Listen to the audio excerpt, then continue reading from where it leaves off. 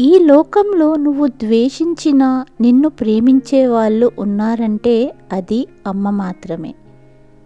అందరికీ నమస్కారం. తెలుగు వాయిస్ ఛానల్కు స్వాగతం. ఈరోజుటి మన కథ అంధురాలైన తల్లి. ఒక పిల్లవాడు తన తల్లితో నివసించేవాడు.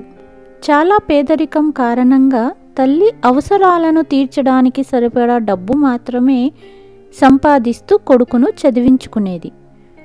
తల్లికి ఒక కన్ను మాత్రమే ఉంది. ఒకనాడు పిల్లవాడి బడికి వెళ్ళింది. అక్కడ అందరూ ఆ పిల్లవాడిని అవహేళన చేశారు.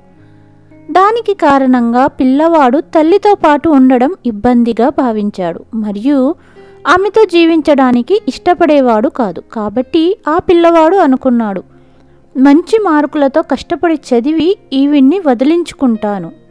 అనుకున్న విధంగానే మంచి మార్కులతో చదువు పూర్తి చేసి తల్లిని విడిచిపెట్టి వేరే ఊరిలో ఉద్యోగం కోసం వెళ్ళిపోయాడు. పెద్ద ఇల్లు కొనుక్కొని పెళ్ళి చేసుకున్నాడు. ఇద్దరు పిల్లలు కూడా పుట్టారు. కానీ ఇన్ని సంవత్సరాలలో ఒక్కసారి కూడా తల్లిని గుర్తు చేసుకోలేదు. కానీ తల్లి కదా ఆ ముసలావిడ కొడుకు మీద బెంగతో ఒకసారి కొడుకును చూడాలనిపించి ఇరుగు పొరుగు వారి సహాయంతో కొడుకు ఇంటికి వచ్చింది. ఆవిడ్ని చూసిన పిల్లలు భయపడిపోయారు.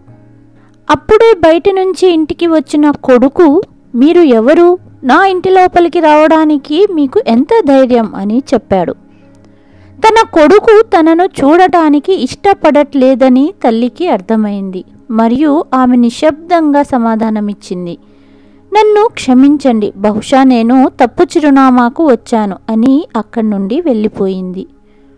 ఒకరోజు కొడుకుకి తన స్కూల్ నుండి తోటి స్నేహితులు అందరూ కలుస్తున్నారని కబురు వచ్చింది.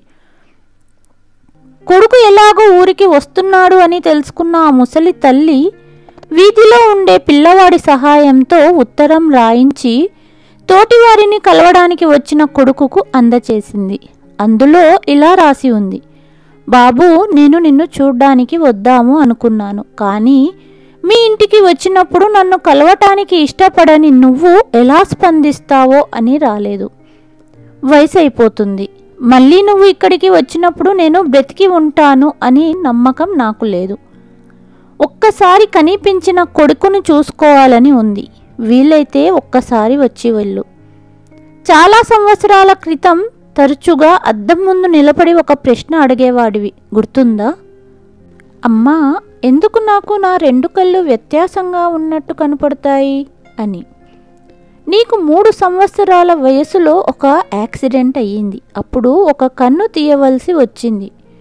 ఒక అమ్మగా నిన్ను అలా చూడటం నా వల్ల అవ్వలేదు. అందుకే నా కన్ను నీకు ఇచ్చాను. నన్ను ఆ రోజు ఒక కన్నుతో చూసి నీ పిల్లలు భయపడ్డారు. ఆ పరిస్థితి నీకు రాకూడదని నువ్వు ప్రపంచాన్ని చూడాలని నా కన్ను నీకు ఇచ్చాను. నువ్వు నన్ను మీ ఇంటికి వచ్చినప్పుడు ఎవరు అని అడిగావు. నీకు భవిష్యత్తులో ఆ పరిస్థితి రాకూడదనే అలా చేశాను. ఎల్లప్పుడూ నా ఆశీస్సులు నీతో ఉంటాయి. ఉత్తరం చదివిన కొడుకుకు అతని కళ్ళల్లో నీళ్ళు తిరిగాయి. వెంటనే తన ఇంటి వైపు వెళ్ళాడు.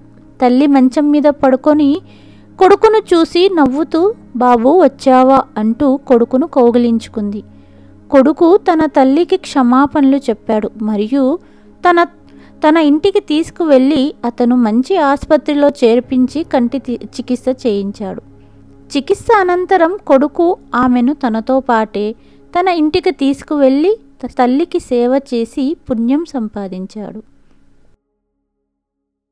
ఈ కథ కనుక మీకు నచ్చినట్లయితే please like share and subscribe to Telugu voice.